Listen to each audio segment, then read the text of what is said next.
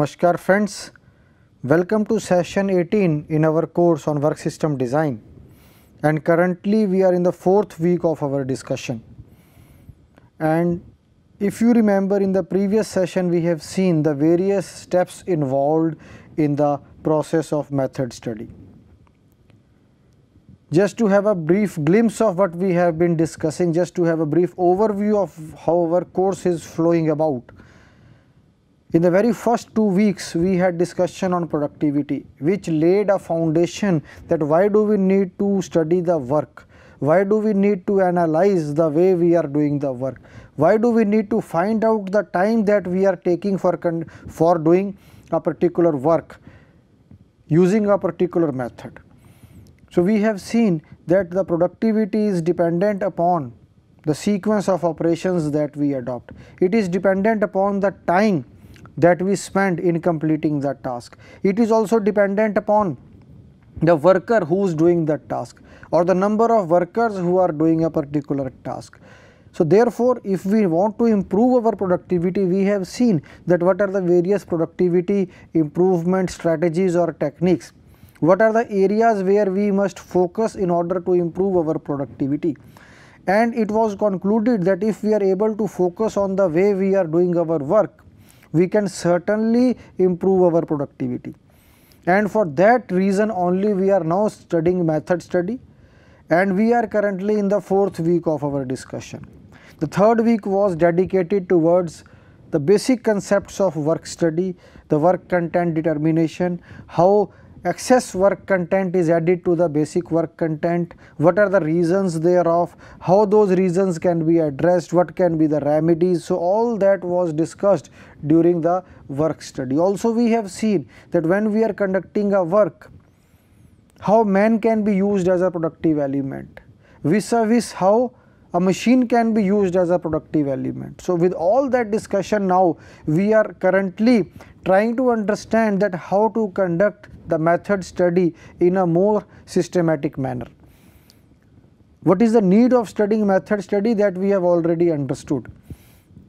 In this week already we have two sessions. The first session was based on the basic concept of method study, the definitions in which we concluded that we have to find out one best way which is economical, which is safe, which is less tiresome for the workers workers enjoy doing the job following that standard method. So, we have to find out that standard method which is efficient, effective as well as productive. How we can find that? There is a systematic technique and we have seen in the second session the various steps involved in that systematic technique that we are calling here as method study. So, now in today's session we will try to understand that how method study can be conducted. So, we have already seen the various steps involved.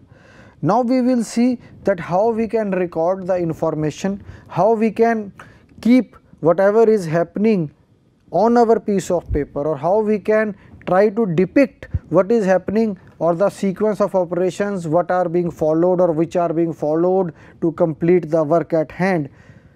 We will try to put them on a piece of paper. How? by using a specific approach. It can be through some charts, it can be through some diagrams. So, what are the charts, diagrams that are used for record for systematically recording the way the work is currently being done is called recording of the facts and how it is done we will try to see just have a overview or a glimpse of the various types of diagrams or charts how they will look like. Then in our subsequent weeks, we will focus on each one of these and we will try to understand that how a problem is solved. Basically, if a work is being done, if you remember in one of our previous sessions, I have taken an example of investment casting process.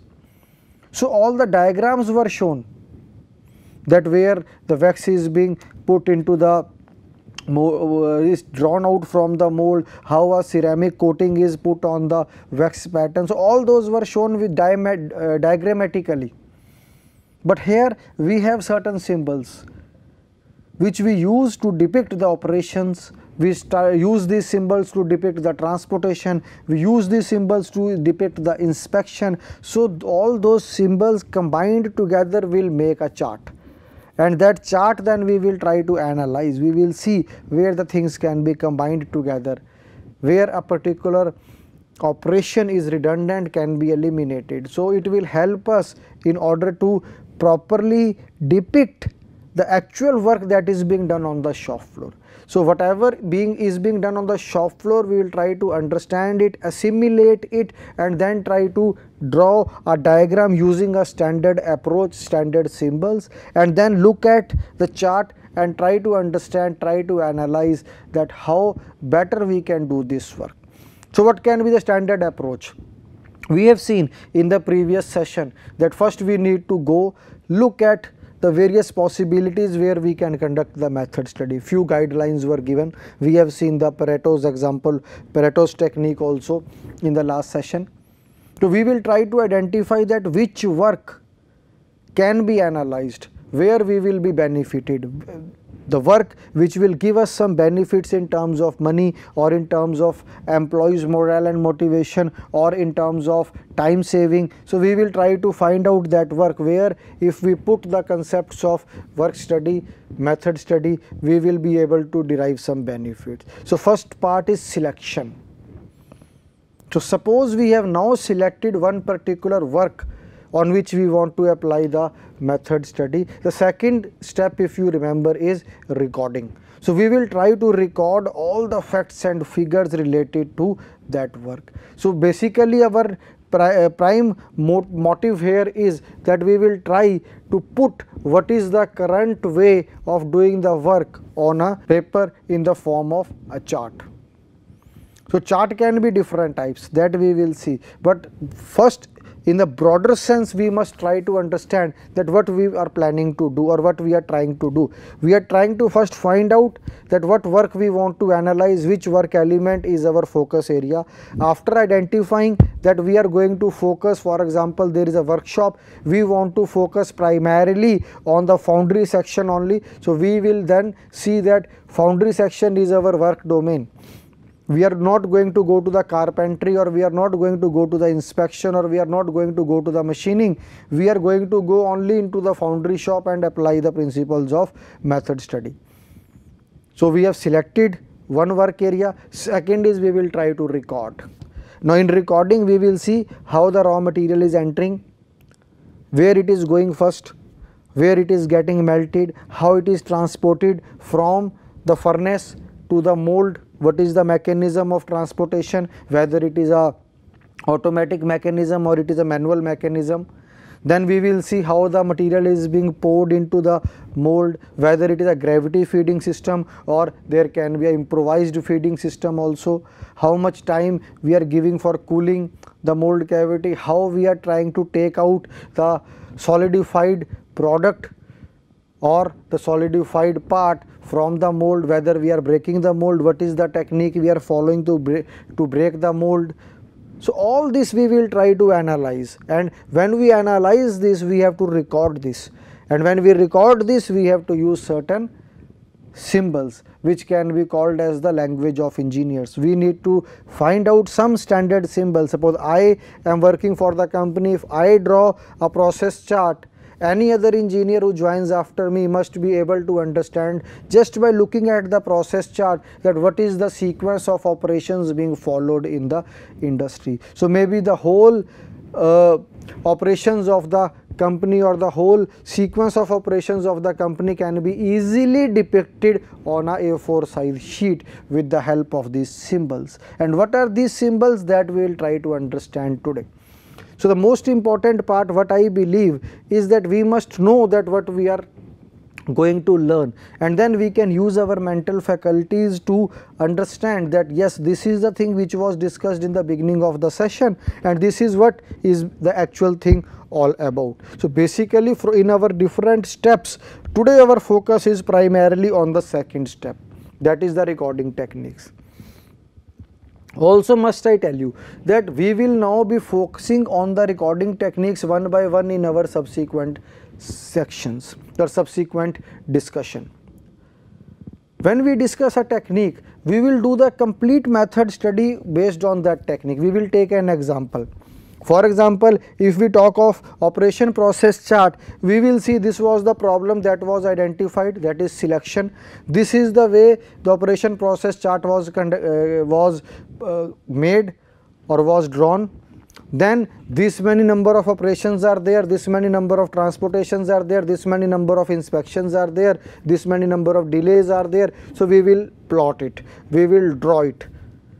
Then the next stage is what? We have to examine and develop a better method. We have to look at the various alternatives. Then we will say this is the current way of doing the work.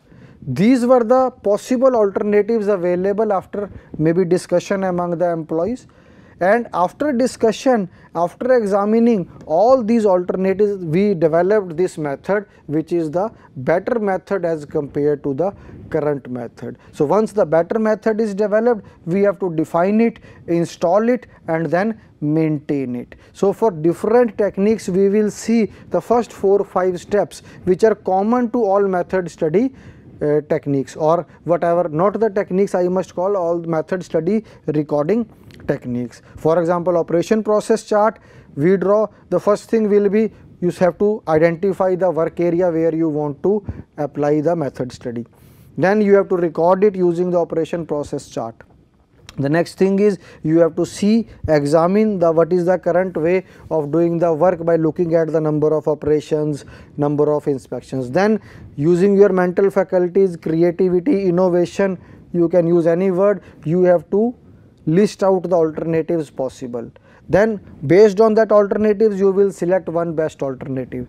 Then you have to define the best way or the best standard method of doing the job then you have to install it and finally maintain it in the company. So, this is the sequence of steps that are followed in method study. For each of these charts we will try to see one or two problems related to different types of recording techniques. So, today our very brief discussion is just an overview or an outline of the recording techniques. So, first we must know that why we are recording the data because this will help us to systematically compare the current method of doing the job and the developed method of doing the job. So, how the developed method is better than the current method we will be able to find out. How we will be able to find out? Suppose in the current method of doing the job we are having 5 operations, 3 inspections and in the new method suppose we have 2 operations and 1 inspection only. So, we will say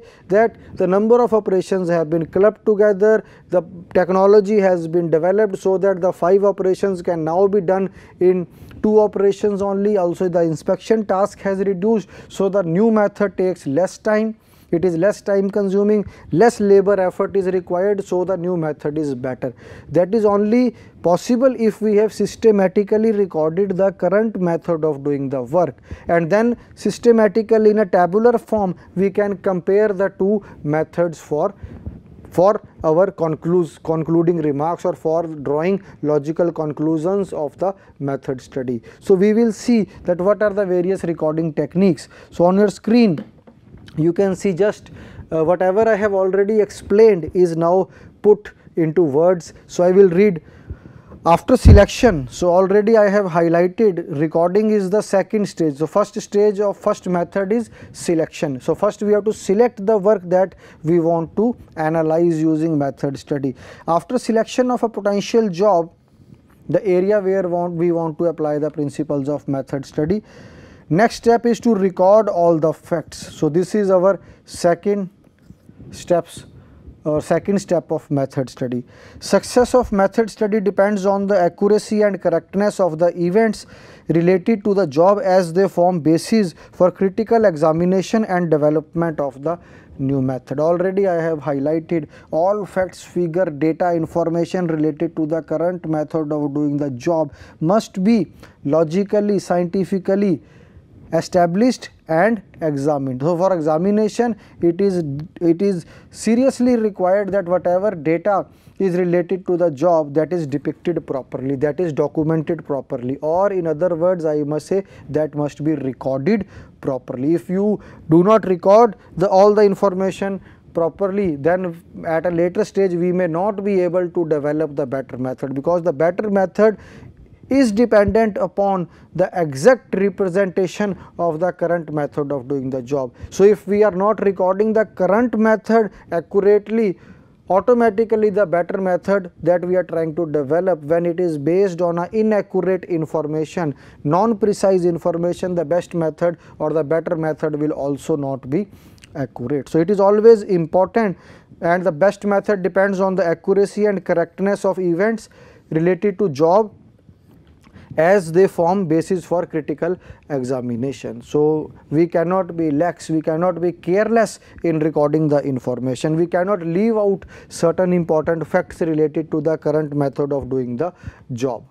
So, recording these techniques help in recording the events precisely in the standard form. We will try to see some of the standard forms today, which can be easily understood by all method study analysts all over the world. So, basically we can say that it is a standard practice of depicting the way the work is being done and anywhere in the country or across the globe everybody follow the same system. So, you can have a standard method of representing or recording the facts and figures related to the work being done or the sequence of operations involved in the work being done.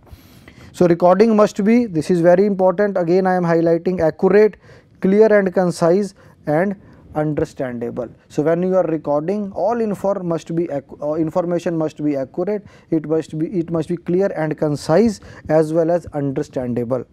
Now this is uh, important because we will be using these symbols quite often in our discussion on method study. So these are standard symbols as it is given ASME has recommended 5 standard method study symbols. So all these symbols you can see the first one is operation for example you are doing a drilling in a steel plate so it will depict an operation or you are cutting a keyway or maybe uh, you can say that you are pouring the molten metal into the mold cavity. So, all examples are related to mechanical engineering since I am a mechanical engineer. So, all wherever the work is being done any operation is being done we will say that it is it can be represented by a circle.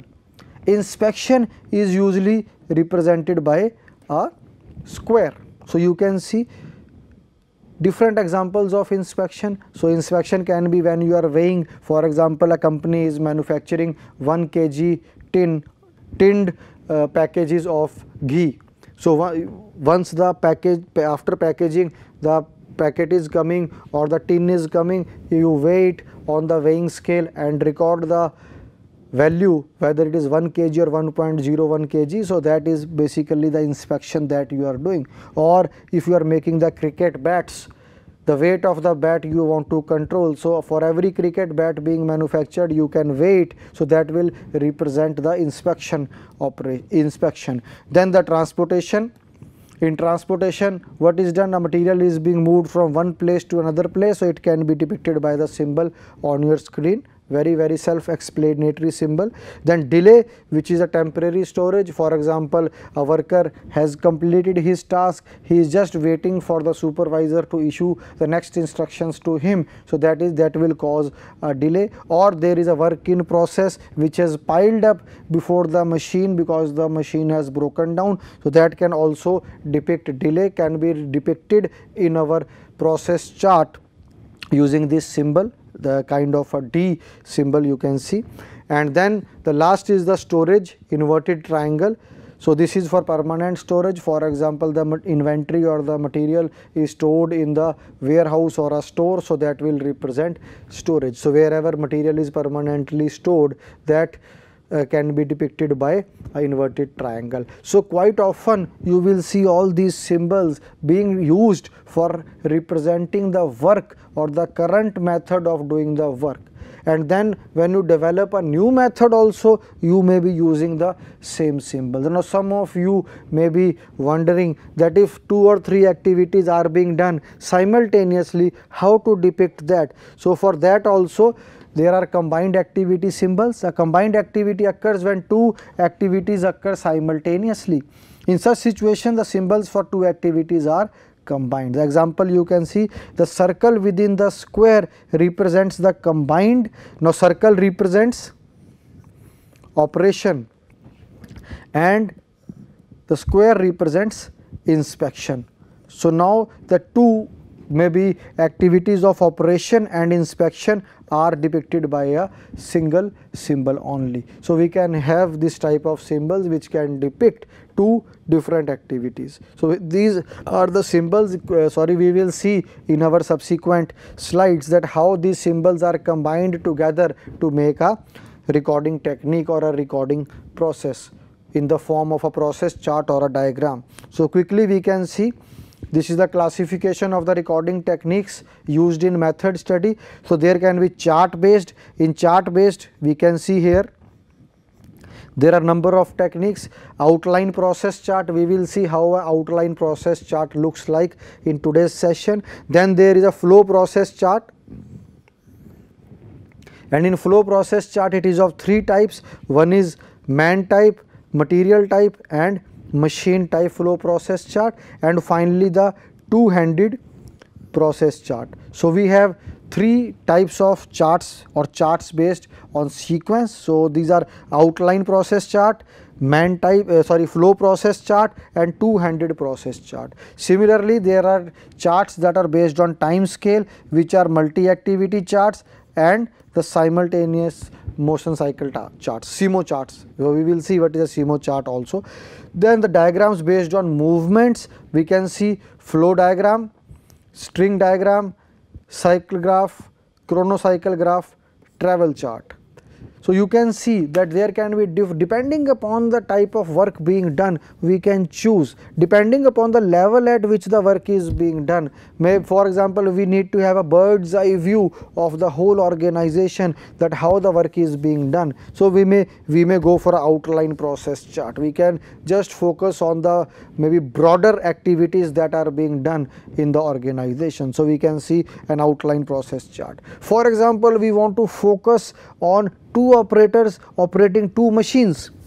So, we are now focusing on a particular area of the work domain. So, we will use a different type of chart which can be a multi activity chart. So, uh, depending upon the requirement we will choose among these. For example, somewhere time is very important we want to optimize the time used for or time required for uh, completing a particular task. In that case, we may focus on charts, charts based on time scale because we want to have a time as our reference method a reference criteria for comparing the two different methods. For example, there is a current way in which the work is being done, but we feel that it is taking lot of time. So, we want to develop a better method which is less time consuming. So, there we need to compare the two methods based on the time scale. So, in that case, which what will help us? The charts based on time scale will be helpful to us.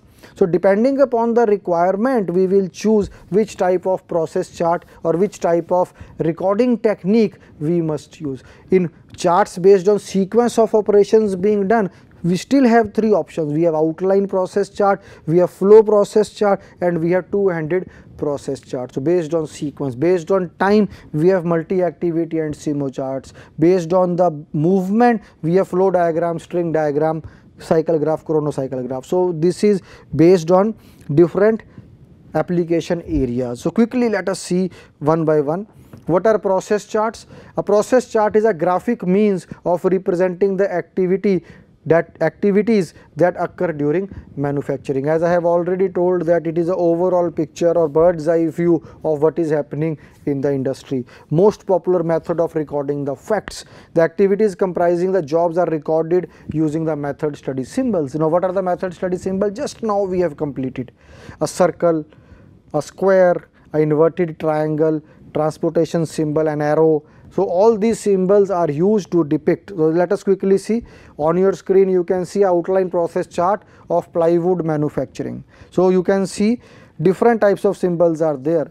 There is a circle here and there is a combined symbol here you can see as we have discussed. So, there will be uh, operations that are happening then there can be inspection at some places. So, we can see here there is I cannot see any delay here. So, there is another uh, inspection happening here clearly it is depicted it is an inspection. So, gluing is a example of operation. So, you can see that you can you can have different uh, operations, but the symbol remains a circle only. Then different stages inspection is being done, but the symbol is a square only. And in case of operation, I have told the symbol will be circle only. Now, this is another way of representing outline process chart. So, we have three routes here and you can see here if you if you can see cut. So, cutting represents an operation and therefore depicted by a circle and then the, if you can see square will represent a inspection. So, we can uh, easily see that two symbols are only used here the, the operations are being done and then inspection is being carried out. Now, this is the flow process chart, the second type of chart which can and all these symbols are here. You have a circle here, a transportation, this is representing transportation, this is representing delay, this is representing storage and then there is a inspection symbol also. So, you have all the process chart symbols here also, but what is the difference? In process chart, outline process chart also you have seen that in our we have used all the symbols and we have depicted the process that what are what is the sequence if you remember this flow process chart and outline process chart are based or the charts based on sequence of operations. So, we have we have been able to depict the sequence in case of outline process chart, but here you see there is another key element which is depicted here which is time. So, time is also taken into account. Then there is another thing which is here which is distance. The distance travelled may be for completing the activity. So, this is basically a flow process chart in which we can see the summary is also possible. So, we have event is operation depicted by a circle, then transportation depicted by arrow, delay, inspection and storage. So, if we see this is here we will write the number present maybe in the present method you have 12 operations, but in the proposed method you have 2 operations only and then we can compare the savings.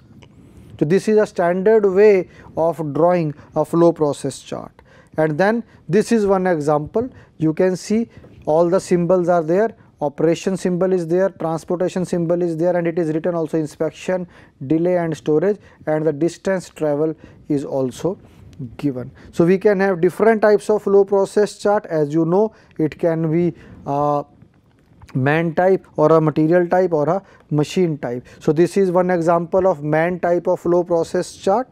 You can very clearly see time is mentioned, distance is mentioned.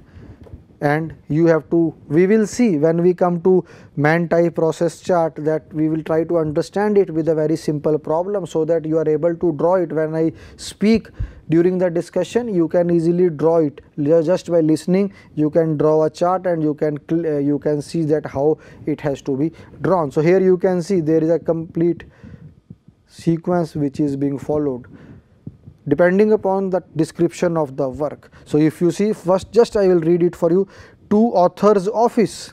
So, it is movement. So, we can say it is transportation.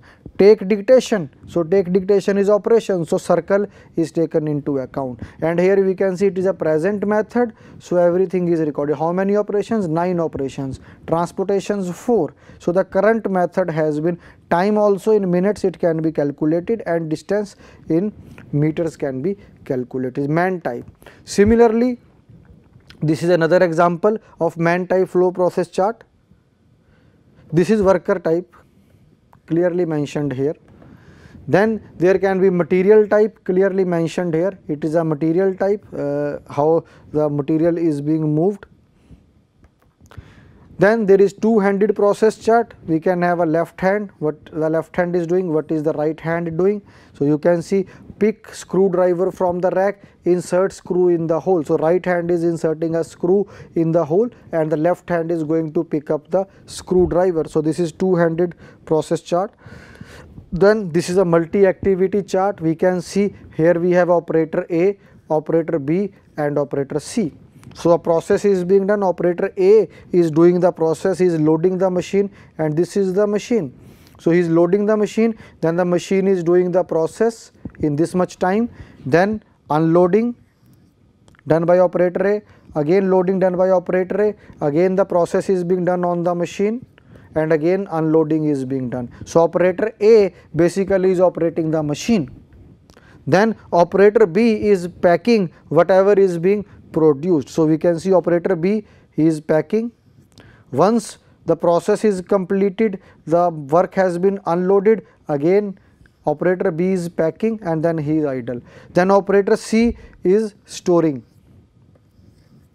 So, operator A is performing the task on a machine, the machine is doing the process, it is producing some product, operator B is packing the product and operator C is storing the product. So, we can see we can calculate, we can find out the optimal utilization of these three people and in many cases we can see whether all these three are really required.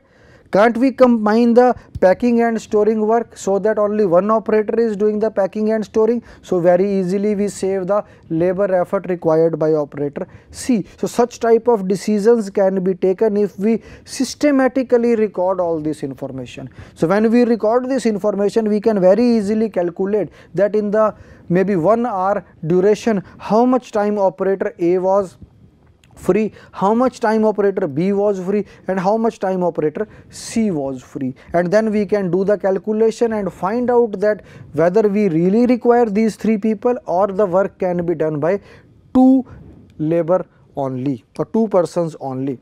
Then these are SIMO chart just a standard depiction of a SIMO chart simultaneous motion cycle chart. Here we can see wink counter reading left hand description and there will be right hand description also and there is an important term called Therblig that we use mostly in micro motion study and Therbligs are basically uh, these symbols which are which were developed by Gilbreth and we have already discussed about the Gilbreth when we studied the historical perspective of uh, method study or the work study. So, we will see what are the Therbligs, what are the various symbols for Therbligs and why do we need to use Therbligs and how they can be used to draw the SIMO charts.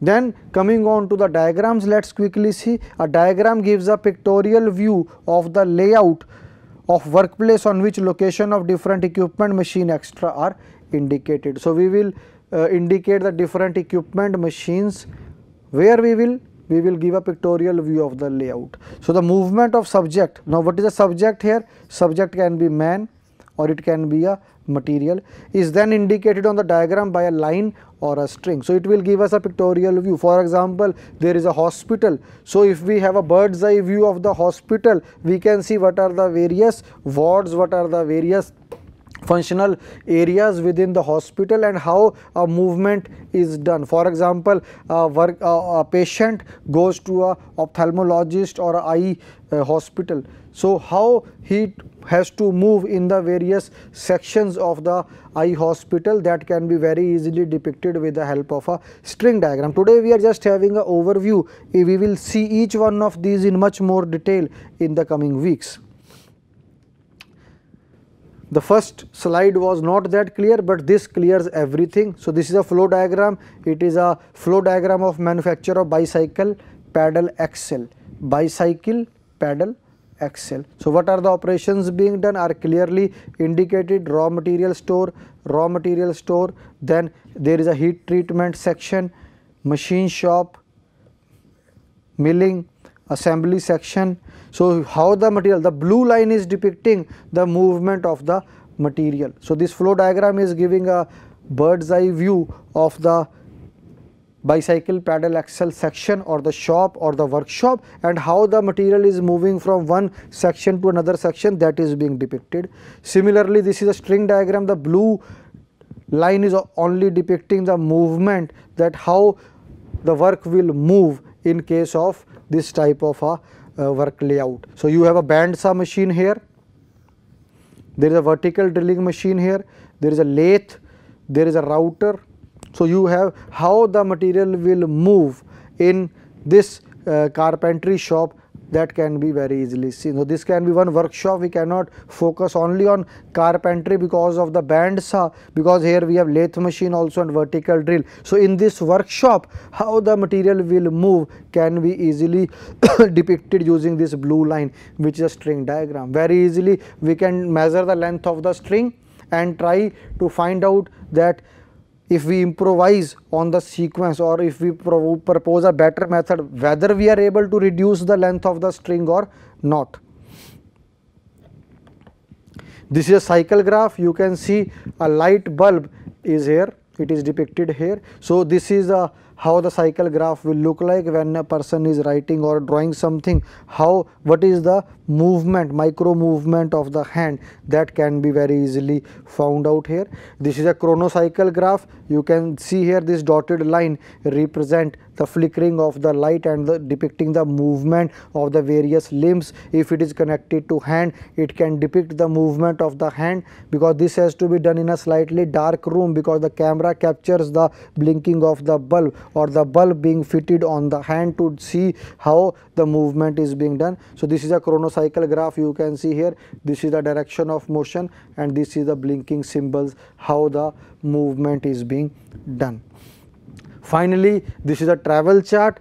You can just focus here on two things from to. So, how the material is moving from which section to which section and this is specific example is for the uh, based on the weight kilogram per day. So, this is uh, just an example that how much kilogram of material is moving from one section to the other section in a given day. So, this type of chart can also help us to see and optimize on the layout of the workshop and find out to minimize the travel because if the travel is there it will take time it will take effort so we can focus on analyzing that what is the movement of the material among the various sections and how we can optimally utilize the space available with us in order to improvise this type of movement or in order to optimize this type of movement. So, with this we conclude the today's session with just two lines that we have lots and lots of recording techniques available with us. We can apply them based upon the type, the way and the time that we are spending on doing the work. So, based on the specific application we will choose a specific recording technique.